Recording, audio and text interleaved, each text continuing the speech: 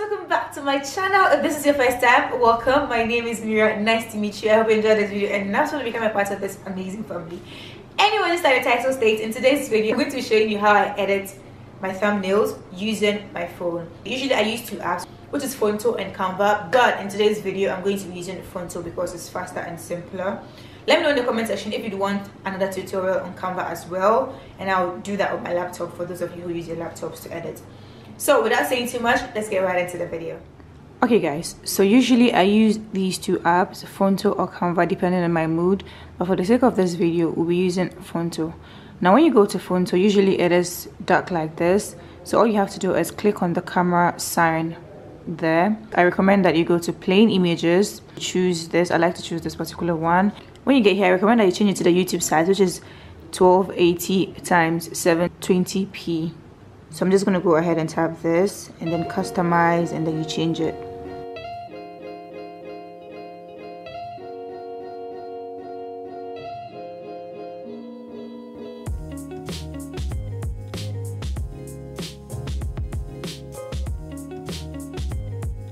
Okay so this particular box is just a guide for you to be able to create your thumbnail. This is just to make sure that you don't get out of line because if your file is too big youtube would not allow you to upload it. And if it's too small too it would not allow you to upload it. So this is just a proper guide. Now that you have this you just go ahead and do a click use and save okay? So when you get this you now want to come back here and then add image okay? So usually i like to favorite whatever i'm going to use. So all you have to do is come here and then look for the image you'll be using. Where's mine okay i'm going to be using this one. Okay so when you get here you press done. Now another thing you should know is that usually the image is very tiny but it's up to you to make it bigger and everything. So all you have to do is click on size and then make sure it fits it fills the white background.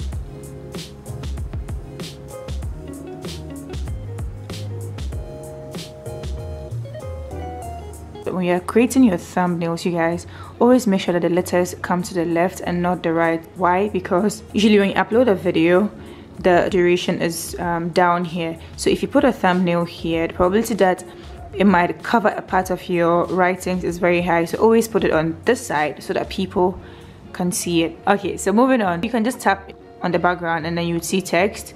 So here let's just say what should we name this? Let's call this how I let me make it capital letters so you guys can see properly how I edit my thumbnails right? And then done okay? So the average person can just do this and you're good to go. But we are not average and we are not basic okay? So we are going to add some spice to it. Under normal circumstances it's not a bad thumbnail. However something like this is not that catchy. Anyone can do this. But if it's colorful if it's bright then people are like forced to probably like stop and check out what it is all about. So usually what i do is that i write my text in bits. So let's go back to this text um, text right? So what i'll do is that i'll do this i'll do this and then i'll go back to text and then i'll do how i edit my and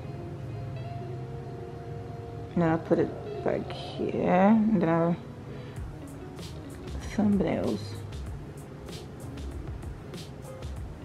and then done okay? And I bring hair as well. Okay this is supposed to be capital letters my thumbnails okay? Okay oh god sorry you guys. I thought I was focusing. So here you have so many options. You can change the size of the text. You can tilt it you can move it around you can alpha i never i've never tried alpha or you can remove whatever text you've written. And if you click on the text like this you have other options as well. You have like the font size.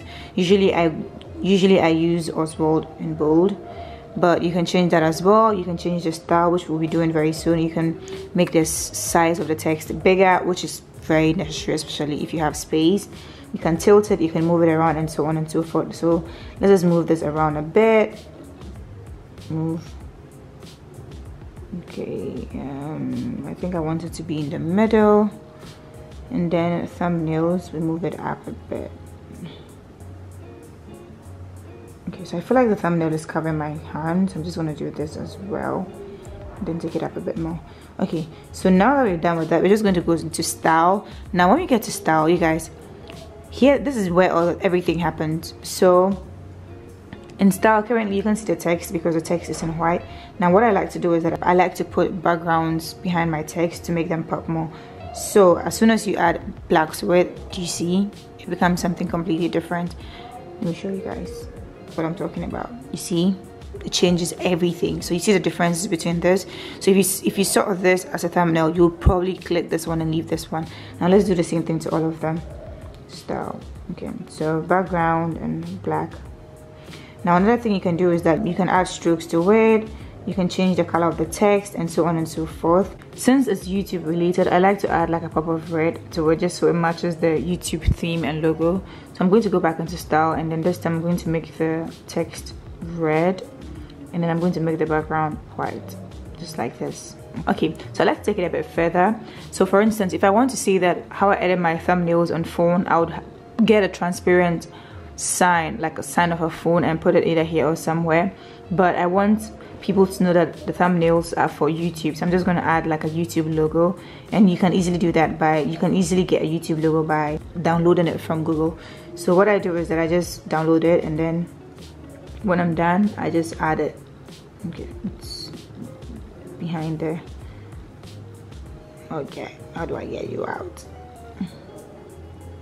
okay then I bring this bad guy right here. Okay, I think the mine is too small, so I'm just gonna make it a bit bigger. See, it makes a difference. Now, how you where you want the red to be, how you want it to be is completely up to you. I like it here. I think it's more flattery there. When you finish with this, like I said, there are a bunch of other options. You can add items. For instance, if you're thinking out loud, you can add it here and then you can just like tilt it a bit to make it look like you're thinking or whatever like there are endless options on this very tiny app very simple app to be honest. Let me move this because i don't need it. But yeah so this is how it is. And then when you're done all you have to do is go to this place and then save. I like saving in PNG so I just do that. And okay and then I go back to my photos which is and there it is.